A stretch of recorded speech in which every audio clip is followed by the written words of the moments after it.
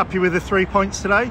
Yeah, yeah. Um, don't get me wrong. I think we could play much better and have done this season, but business end of the season, like I discussed before, um, is really a case of obviously getting results and 2 0 against a team who um, score a lot of goals. I mean, you look at their score, their matches beforehand, a lot of basketball games back and forth. So, and they've got about three or four players in the top sort of 10, 15 scorers in the league. So they do score a lot of goals. So to come here, keep a clean sheet was an outstanding, outstanding feat from our defensive um, point of view. Um, like I said, on the ball, we can play a bit better.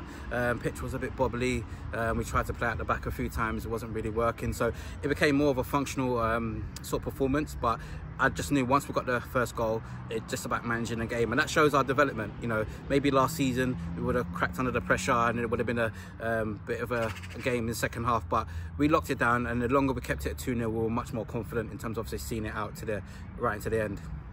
And first half, two goals. Was that a better performance in the second half, or? Um, tactically it was because I think they were still getting in. I mean, they're a very good team in terms of they've got technical players and they interchange a lot. Um, so it's very important for our team to sort of keep their shape and maintain what's happening. Even if there is an overload, you still got to maintain your shape and cover the areas and make it more of a zonal sort of game in regards to going man for man. Um, but yeah, so second half we changed it, went to 4-1-4-1. Um, you know, so uh, it was easier for the four in front to shuffle across um, and also give a bit more support to Noah. And we could have got a couple near the end, to be honest, but um, it was a good performance. All all did well. Ricardo made his debut today, did really well. He came in late.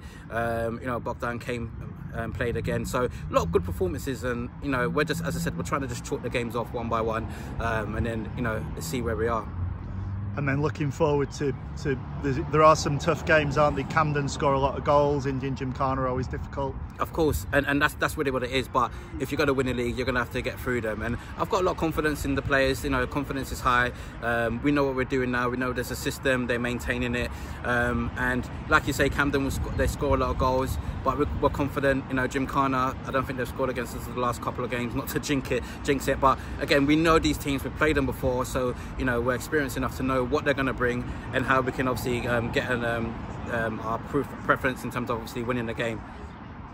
And then obviously the the focus this month is getting the changing room sorted as well yes, fingers crossed. You know, um, we've spoken to the players. Um, you know, so we're going to try and come down and you know as much as I can help out. You know, um, to help with the clear up.